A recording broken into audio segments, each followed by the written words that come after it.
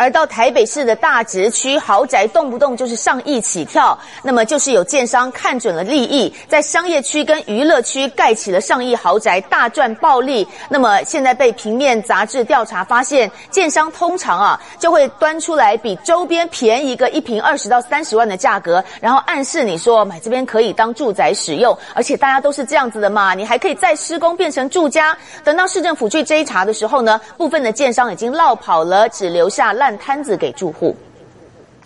在大直美丽华一带，依法是属于商业和娱乐区，但是有许多的建商却偷偷盖成住宅来卖，大赚暴利。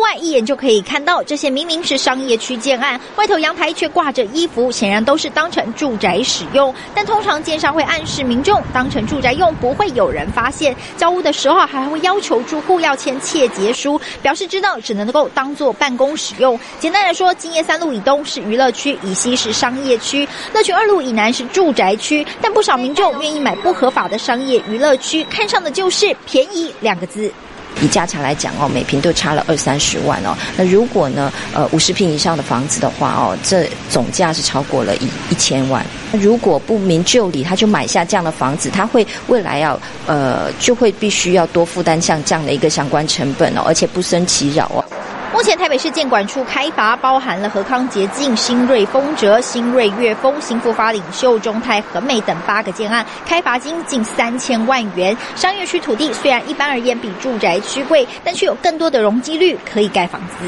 一般性的住宅，如果是住宅用地的话哦，它在容积率的呃比例来讲呢，它可以最多盖到百分之四百。但是如果是商业用地的话呢，最多可以盖到百分之八百。